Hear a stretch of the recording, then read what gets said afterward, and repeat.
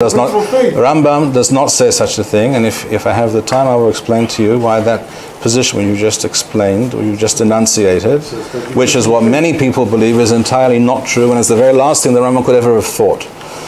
But if you happen to be one of those people, for example, who believe that the Beit Mikdash could fall out of heaven during the night, whilst we were asleep this evening, uh, and you believe in other kinds of fanciful things, then you might believe such a thing. But Rambam certainly couldn't have believed such a thing, and did not believe such a thing, and Rambam never wrote such a thing.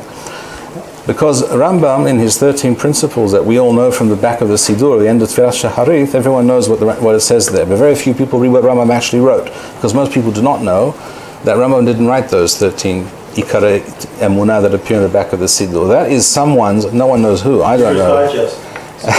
That's somebody's uh, not very successful, not entirely accurate uh, rendition and, and uh, précis of what Rambam wrote. If you want to know what the Rambam actually wrote, then you have to go to his Pirush on the Mishnah, because those 13 Yesodot, the Rambam lays out in full at, as an introduction to Perek Chelek, this, this chapter of Sanhedrin, in full, in his own hand, and we have that work of Rambam. You can read what he says, and, and he does not make the statement,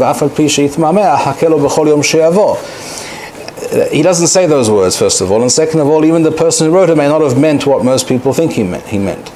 Because it doesn't mean that it could happen every day. What it means is I have to believe that the geula botavo, it will, will occur. And I should never, I'm not supposed ever to give up and to uh, re relinquish the faith my faith in that concept that the Geula will come about. So every day I have to renew that faith, yes. But to believe that it could happen any given day, miraculously, overnight, without everything that is required to make that possible, that's, that's a different thing altogether. Most people, therefore, have, have misunderstood and constantly misrepresent the Rambam on this issue.